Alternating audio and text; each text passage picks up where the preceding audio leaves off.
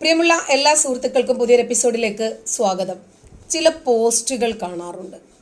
ഇന്ന് കണ്ണിലുടക്കിയ ഒരു പോസ്റ്റ് ഇങ്ങനെയാണ്. മതം മാറി ഒടുവിൽ പള്ളിയിലെ ഇമാമായി. നമ്മൾ സ്വാഭാവികമായിട്ടും ചിന്തിക്കും. നമ്മൾ പറയില്ലേ റബ്ബർ വെട്ട് തൊഴിലാളിയായിരുന്നു ഇന്ന് ഐ എ എസ് ഓഫീസറായി എന്ന് പറയാറില്ലേ.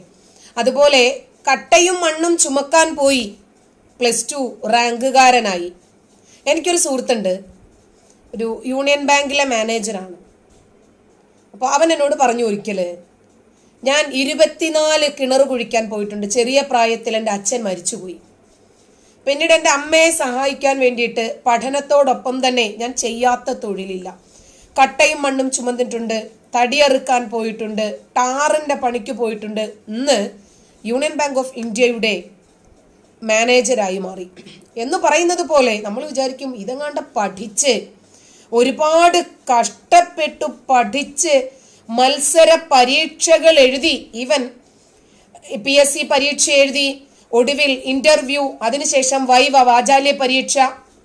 ഇതിനൊക്കെ ശേഷം നേടിയെടുക്കുന്ന ഒരു പോസ്റ്റ് ആണോ പള്ളിയിലെ ഇമാം എന്ന് നമ്മൾ ചിന്തിച്ചു പോകും.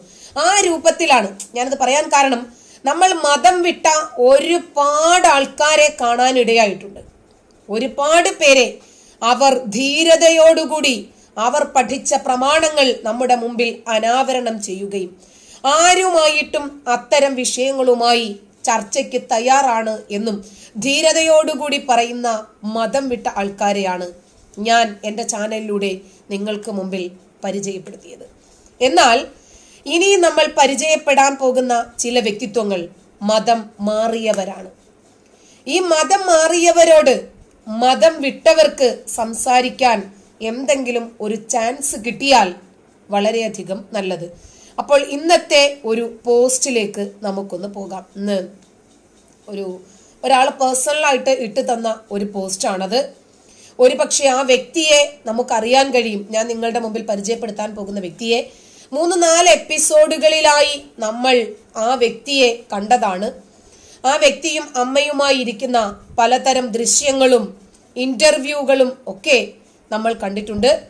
നമുക്കതിലേക്ക് പോകാം. ആ പോസ്റ്റ് എന്താണ് എന്നല്ലേ നമുക്ക് ആ പോസ്റ്റ് ഒന്ന് വായിക്കാം. ആ പോസ്റ്റാണ് നമ്മൾ ഈ വായിച്ചുകൊണ്ടിരിക്കുന്നത്. അതെ ഞാനാണ് നിങ്ങളുടെ ഉണ്ണികൃഷ്ണൻ എന്ന അബ്ദുറഹ്മാൻ. എന്റെ കൂടെയുള്ളത് എനിക്ക് ജന്മം നൽകിയ എന്നെ പ്രസവിച്ച എന്റെ അമ്മയാണ്. അവർ അവിശ്വാസിയാണ്.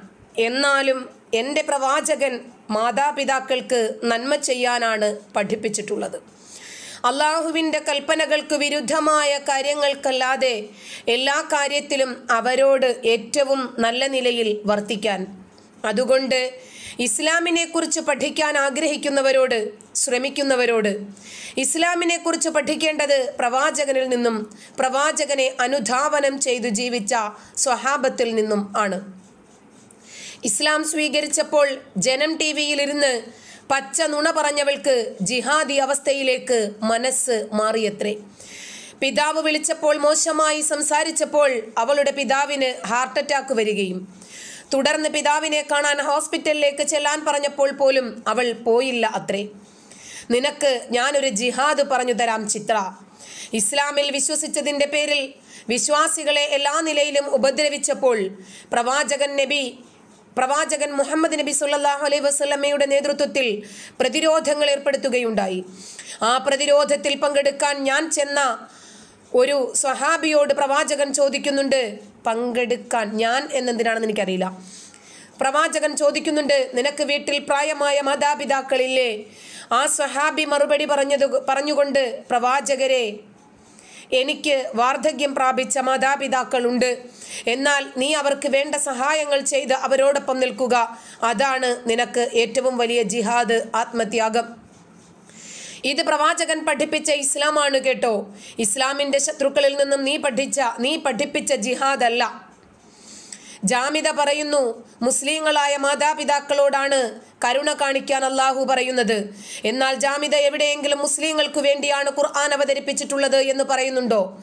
മറിച്ച് ഖുർആൻ പറയുന്നത് ശ്രദ്ധിച്ചു മനസ്സിലാക്കൂ സഹോദരങ്ങളെ. അൽ ബക്കറ രണ്ടാം അധ്യായം നൂറ്റി എൺപത്തി അഞ്ചാമത്തെ വാചകം.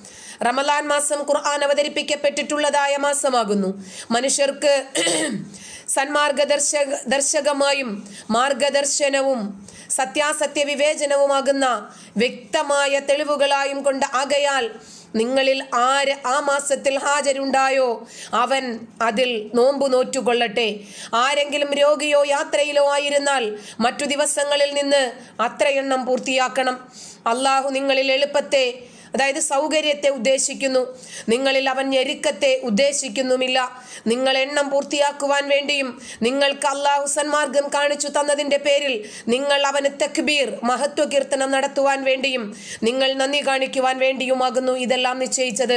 മനുഷ്യർക്ക് സന്മാർഗമായി കൊണ്ടാണ് അല്ല ഖുർആൻ അവതരിപ്പിച്ചത് എന്നാണ് റബ്ബ് ഖുർആാനിലൂടെ നമ്മോട് പറയുന്നത്. എന്നിട്ടും അത് മുസ്ലിം മാതാപിതാക്കളോടാണ് കരുണ കാണിക്കാൻ പറഞ്ഞത് എന്ന് പറയുന്നതിന് വ്യക്തമായ ലക്ഷ്യമുണ്ട്. ഇസ്ലാമിനെ കളവാക്കുക എന്ന ലക്ഷ്യം. ഇസ്ലാമിനെതിരെ എന്തൊരു കള്ളവാദം ഉന്നയിച്ചാലും പ്രതികരിക്കേണ്ടത് ഓരോ സത്യവിശ്വാസിയുടെയും ബാധ്യതയാണ്. ഇസ്ലാമിക പ്രബോധനവും ഓരോ വിശ്വാസിയുടെയും ബാധ്യതയാണ്. ഇസ്ലാമിക പ്രബോധനത്തിന് താല്പര്യമുള്ളവർക്ക് ബന്ധപ്പെടാം. ഉണ്ണികൃഷ്ണൻ പറഞ്ഞ അമ്മ ഈ അമ്മയാണ്. വ്യക്തമായൊന്ന് നോക്കിക്കോളൂ. ആ അമ്മയുടെ നെറ്റിയിൽ ചന്ദനക്കുറിയുണ്ട്.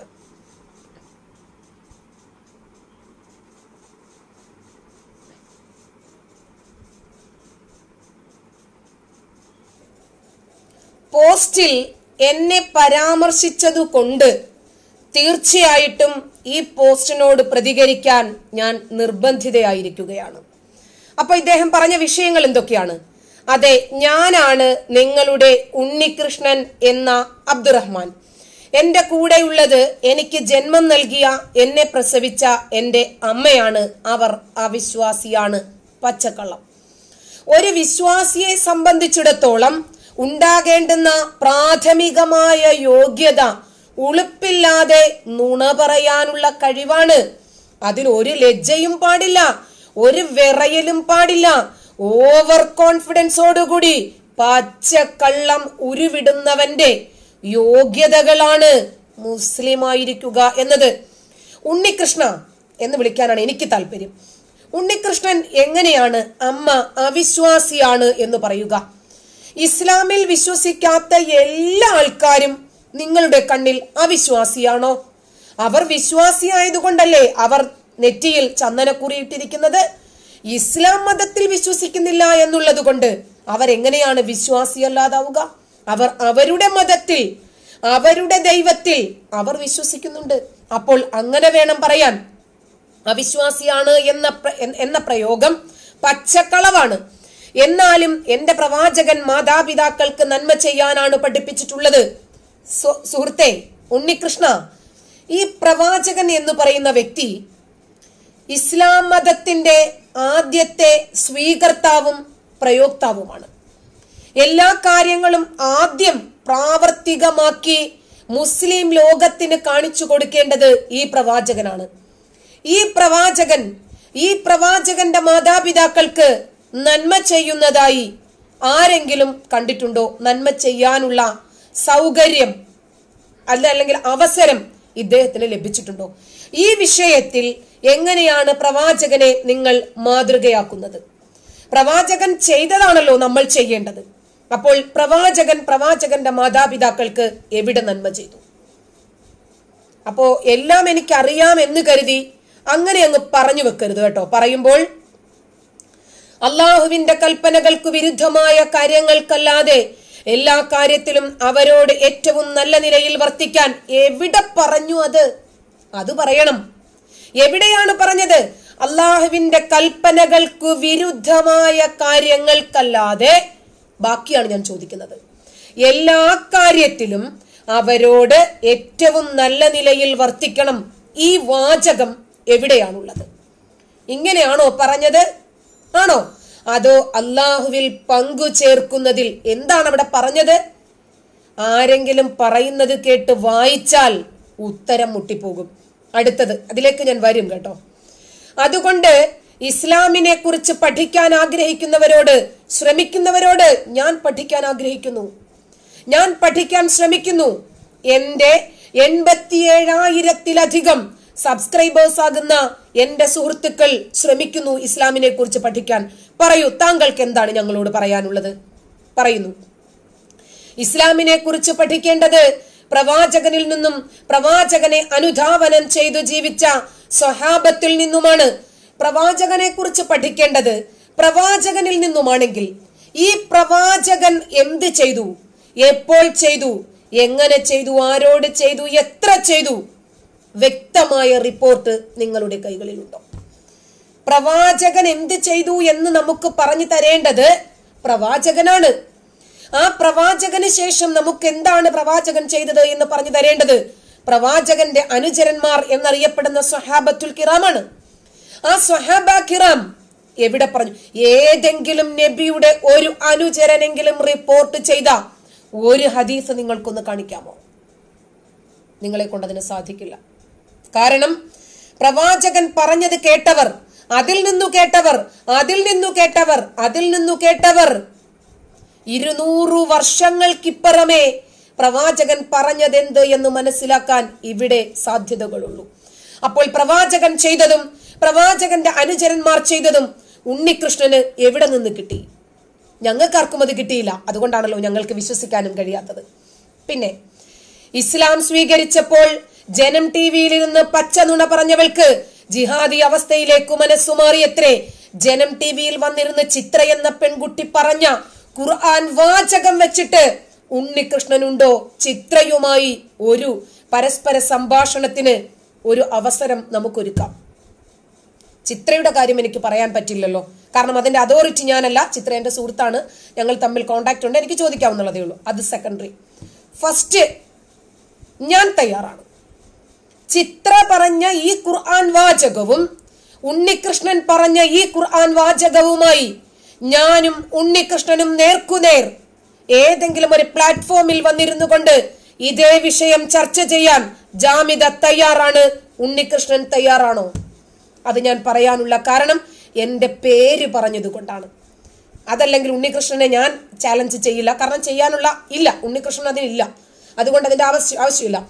അപ്പോ ജിഹാദി അവസ്ഥയിലേക്ക് ആരാണ് ജിഹാദി? ഒരു വിരൽ ചിത്രയിലേക്ക് ചൂണ്ടുമ്പോൾ മറ്റു വിരലുകൾ ഉണ്ണികൃഷ്ണനിലേക്കാണ് ചൂണ്ടുന്നത് എന്ന് മറക്കരുത്. ആരാണ് ജിഹാദ് എന്ന പദത്തിന്റെ അർത്ഥമെങ്കിലും ഉണ്ണികൃഷ്ണൻ ഇവർ പറഞ്ഞു തന്നിട്ടുണ്ടോ? മതം മാറ്റിയവർ ഉണ്ടാവില്ല. പിതാവ് വിളിച്ചപ്പോൾ മോശമായി സംസാരിച്ചപ്പോൾ അവരുടെ പിതാവിന് ഹാർട്ട് അറ്റാക്ക് വരികയും പബ്ലിക് പ്ലാറ്റ്ഫോമിൽ വന്നിരുന്നിട്ടാണ് ചിത്ര ഇത് പറഞ്ഞത്. അത് വേണമെങ്കിൽ ചിത്രയോട് ഡയറക്റ്റ് ആയിട്ട് ചോദിക്കണം. എന്താണ് സംഭവം എന്ന് ചിത്രയുടെ മാതാപിതാക്കൾ ജീവിച്ചിരിപ്പുണ്ട് ചിത്ര ജീവിച്ചിരിപ്പുണ്ട്. സമാനമായ സാഹചര്യങ്ങളെല്ലാം ഇന്ന് സുലഭമായി നമുക്ക് മുമ്പിലുണ്ട് ചി- സത്യം എന്തെന്ന് തെളിയിക്കാൻ. അതിനെന്താണ് ഉണ്ണികൃഷ്ണൻ തയ്യാറാകാത്തത്? ഇനിയും നിനക്ക് ഞാനൊരു ജിഹാദ് പറഞ്ഞു തരാം ചിത്ര. പറയൂ പറയൂ. ഇസ്ലാമിൽ വിശ്വസിച്ചതിന്റെ പേരിൽ വിശ്വാസികളെ എല്ലാ നിലയിലും ഉപ ഉപദ്രവിച്ചപ്പോൾ പ്രവാചകൻ മുഹമ്മദ് നബി സല്ലാഹു അലൈഹി വസ്ലമയുടെ നേതൃത്വത്തിൽ പ്രതിരോധങ്ങൾ ഏർപ്പെടുത്തുകയുണ്ടായി. എത്ര പ്രതിരോധമാണ് ഉണ്ണികൃഷ്ണൻ ഇസ്ലാമിൽ നിലനിൽക്കുന്നതിന് വേണ്ടി മാത്രം പ്രവാചകൻ സ്വീകരിച്ചിട്ടുള്ളത് അത് ഉണ്ണികൃഷ്ണൻ അറിയാമോ? വിശ്വാസികൾ സ്വന്തം നിലനിൽപ്പിനു വേണ്ടി മാത്രം എത്ര പ്രതിരോധങ്ങളാണ് ഏർപ്പെടുത്തിയിട്ടുള്ളത് എന്ന് ഉണ്ണികൃഷ്ണൻ ഒന്ന് പഠിക്കണം എന്നിട്ടൊന്ന് പറയണം. പ്രവാചകൻ എത്ര യുദ്ധങ്ങൾ ചെയ്തിട്ടുണ്ട് അതെല്ലാം പ്രതിരോധത്തിന് വേണ്ടിയായിരുന്നോ? നിലനിൽപ്പിന് വേണ്ടിയുള്ള സമരങ്ങളായിരുന്നോ? അതുകൂടി പറയണം പറയിപ്പിച്ചിരിക്കും. ആ പ്രതിരോധത്തിൽ പങ്കെടുക്കാൻ ചെന്ന ഒരു സ്വഹാബിയോട് പ്രവാചകൻ ചോദിക്കുന്നുണ്ട് നിനക്ക് വീട്ടിൽ പ്രായമായ മാതാപിതാക്കളില്ലേ? ആ സ്വഹാബി മറുപടി പറഞ്ഞത് പറഞ്ഞുകൊണ്ട് പ്രവാചകരെ എനിക്ക് വാർദ്ധക്യം പ്രാപിച്ച മാതാപിതാക്കളുണ്ട്. എന്നാൽ നീ അവർക്ക് വേണ്ട സഹായങ്ങൾ ചെയ്ത് അവരോടൊപ്പം നിൽക്കുക. അതാണ് നിനക്ക് ഏറ്റവും വലിയ ജിഹാദ്. ബ്രാക്കറ്റിൽ ആത്മത്യാഗം. ഇത് പ്രവാചകൻ പഠിപ്പിച്ച ഇസ്ലാമാണ് കേട്ടോ. അപ്പോൾ പ്രവാചകൻ പഠിപ്പിച്ച ഇസ്ലാം. അവിടെ നിൽക്കുമ്പോൾ പ്രവാചകൻ പഠിപ്പിച്ച ഖുർആൻ ഇവിടെ വെല്ലുവിളി ഉയർത്തുന്നുണ്ട്. ഉണ്ണികൃഷ്ണൻ യുദ്ധത്തിന് പോകാൻ അനുമതി ചോദിച്ചിട്ട് നൽകാതിരുന്ന യുദ്ധത്തിന് പോകാതിരിക്കാൻ അനുമതി ചോദിച്ചിട്ട് നൽകാതിരുന്നതിനെ സംബന്ധിച്ച് ഖുർആൻ ഇവിടെ വ്യക്തമാക്കുന്നുണ്ട്. താങ്കൾക്ക് ഖുർആാനിന്റെ ഏതെങ്കിലും ഒരു അറ്റവും മൂലയുമെങ്കിലും പഠിച്ചിട്ടാണോ താങ്കൾ താങ്കളുടെ ഈ ജിഹാദിന്റെ മതത്തിലേക്ക് താങ്കൾ തിരി താങ്കൾ പോയത്? താങ്കൾ താങ്കളുടെ പൂർവമതം വിട്ടത് ഈ സത്യ സത്യാസത്യ വിവേചനം എന്ന പാത സ്വീകരിച്ചത് അറി അറി- അറിയാമോ? യുദ്ധത്തിൽ പങ്കെടുക്കാതിരുന്നാലുള്ള ശിക്ഷ എന്തെന്ന് താങ്കൾക്ക് അറിയാമോ യുദ്ധത്തിൽ അന്നത്തെ കാലഘട്ടത്തിൽ നബിയുടെ അനുചരന്മാർ യുദ്ധത്തിൽ പങ്കെടുക്കത്തില്ല എടുക്കാതിരിക്കാൻ ഞങ്ങൾക്ക് ഒരു അനുമതി തരണേ എന്ന് ചോദിച്ചപ്പോൾ എന്താണ് അവരോട് പറഞ്ഞ മറുപടി എന്ന് ഖുർആൻ തുറന്നു വായിക്കണം. എന്നിട്ട് വേണം ഇതൊക്കെ ഇങ്ങോട്ട് വന്ന് തള്ളാൻ. ഇതൊക്കെ ഇൻഷാല്ല മാഷ അല്ല ടീം ഇത് സ്വീകരിക്കും. ജാമിദായെ പോലുള്ളവർ സ്വീകരിക്കില്ല. അപ്പോ ഇസ്ലാമിന്റെ ശത്രുക്കളിൽ നിന്നും നീ പഠിപ്പിച്ചത് പഠിച്ചതെന്നായിരിക്കും. പഠിപ്പിച്ച ജിഹാദ് അല്ലാന്ന് ഇസ്ലാമിന്റെ ശത്രുക്കൾ എന്ന് പറയുമ്പോൾ ആരാണ് ഉണ്ണികൃഷ്ണൻ?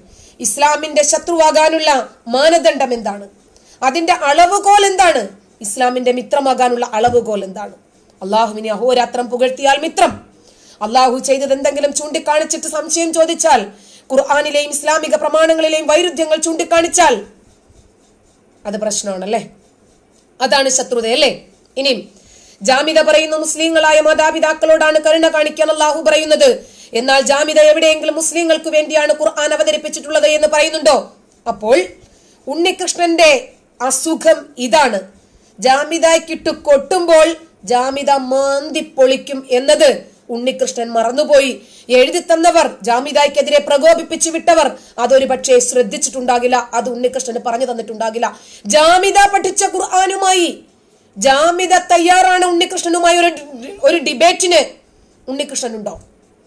ഉണ്ണികൃഷ്ണൻ ഉണ്ടോ ഞാൻ പഠിച്ച ഖുർആൻ ഇന്ന് ലോക ജനങ്ങളുടെ കയ്യിലിരിക്കുന്ന ഈ ഖുർആൻ ഇതിലെന്താണ് മുസ്ലിങ്ങളെ കുറിച്ച് പറഞ്ഞത് അമുസ്ലിങ്ങളെ കുറിച്ച് പറഞ്ഞത് എന്നുമായി ഒരു ഡിബേറ്റ് ഉണ്ണികൃഷ്ണനുമായി ഞാൻ തയ്യാറാണ്.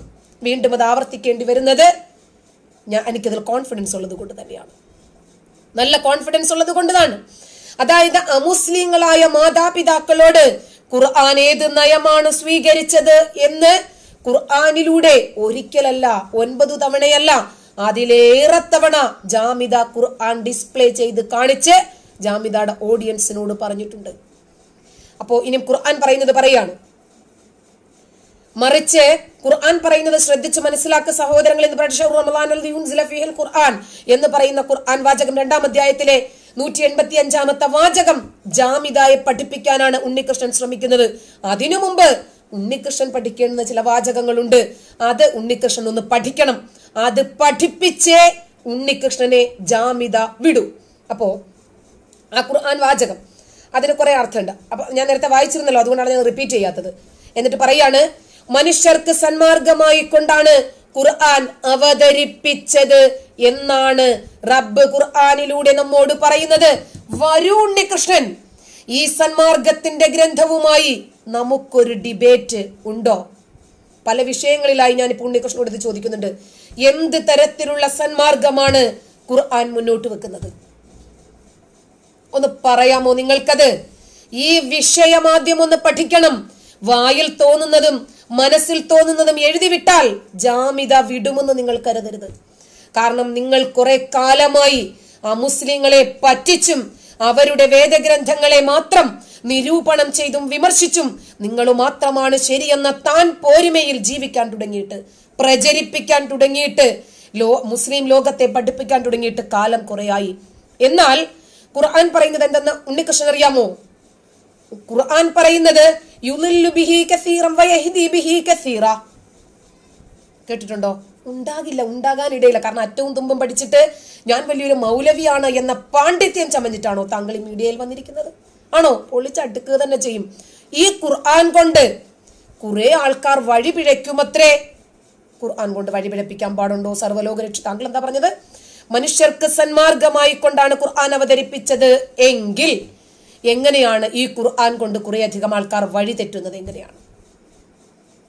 സന്മാർഗം മാത്രമല്ലേ രക്ഷിതാവിന് കൊടുക്കാൻ പറ്റൂ? അള്ളാഹു പറയുന്നു ഓരോരുത്തർക്കും മാർഗദർശനം നൽകൽ അള്ളാഹുവിന്റെ ബാധ്യതയാണ്. എന്നാൽ ആ ഖുർആൻ തന്നെ പറയുന്നുണ്ട് അള്ളാഹു വിചാരിച്ചാൽ മാത്രമേ ഒരാൾക്ക് സന്മാർഗം ലഭിക്കൂ. അള്ളാഹു വിചാരിച്ചാൽ മാത്രമേ ഒരാൾക്ക് ദുർമാർഗം ലഭിക്കൂ. അള്ളാഹു സന്മാർഗത്തിലാക്കിയ ഒരാളെ ദുർമാർഗത്തിലാക്കാനോ അള്ളാഹു ദുർമാർഗത്തിലാക്കിയ ഒരാളെ സന്മാർഗത്തിലാക്കാനോ ഒരാളാലും കഴിയില്ല എന്ന് പറയുന്നത് ഈ പടച്ചറബാണ്.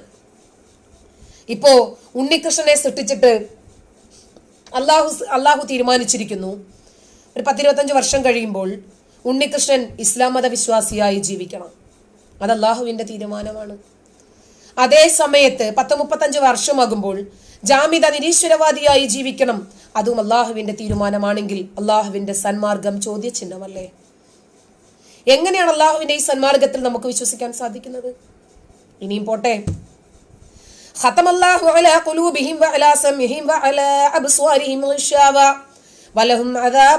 കുറെ അധികം ആൾക്കാർ അള്ളാഹു ഹൃദയത്തെ സീൽ വെച്ചിരിക്കുക കണ്ണിലൊക്കെ മൂടിയിട്ടിരിക്കുകയാണ് കാതിൽ ആവരണം ഒന്നും കേൾക്കൂല ഒന്നും കാണൂല. വല്ലദീന കഫറു പ്രവാചകരെ താങ്കൾ അവർക്ക് മുന്നറിയിപ്പ് നൽകിയാലും ഇല്ലെങ്കിലും അവരെ വിശ്വസിക്കില്ല. ഇത് പറയുന്നത് ആരാ? അള്ളാഹു കാരണം അള്ളാഹു നേരത്തെ ഉദ്ദേശിച്ചു വെച്ചിരിക്കണം കുറെ അധികം ആൾക്കാർക്ക് സീൽ വെക്കണം ഹൃദയത്തിൽ കണ്ണിലും കാതിലും ആവരണമിടണം.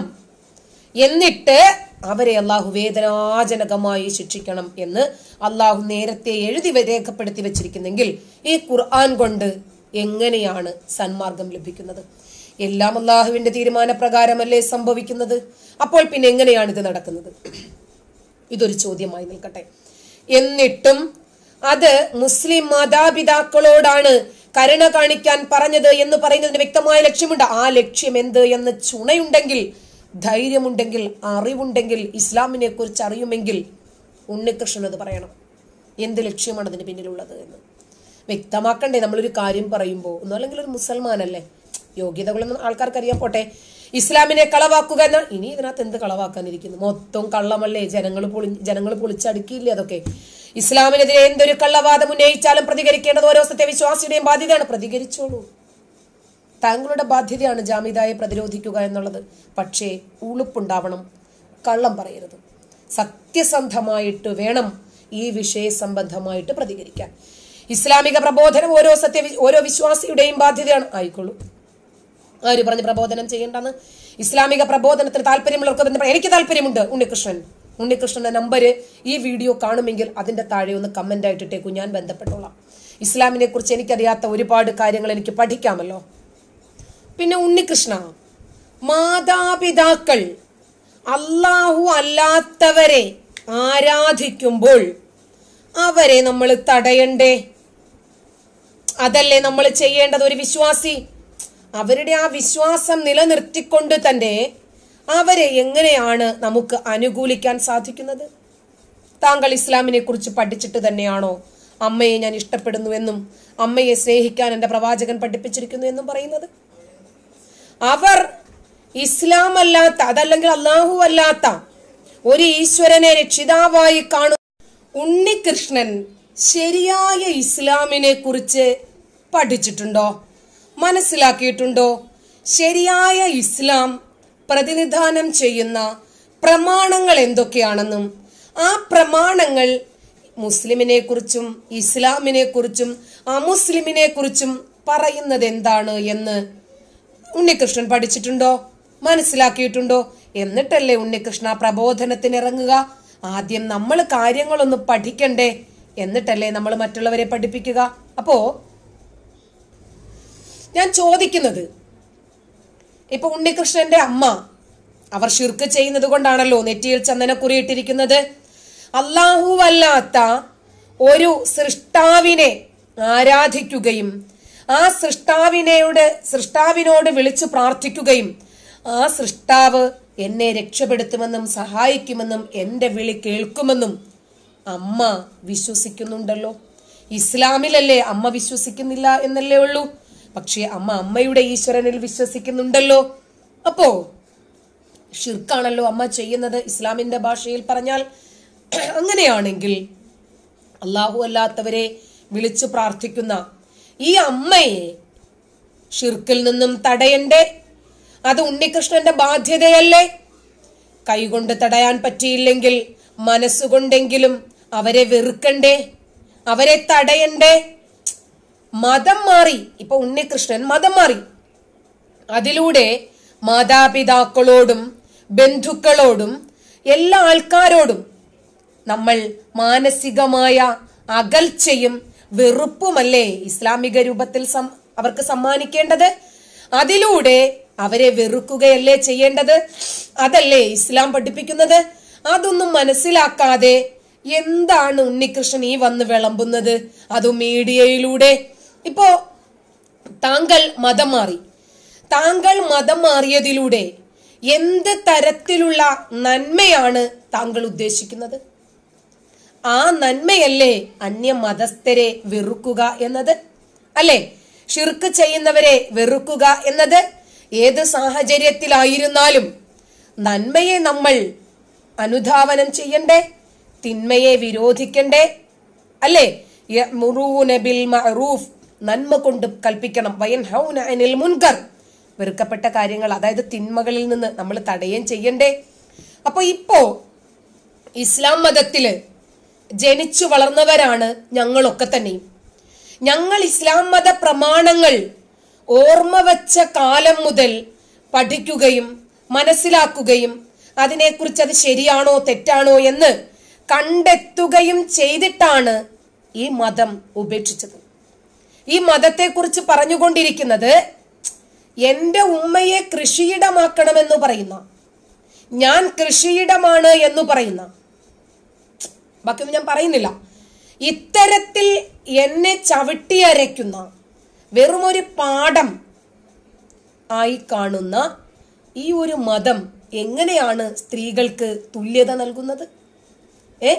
അപ്പോ മതം മാറിയവർക്ക്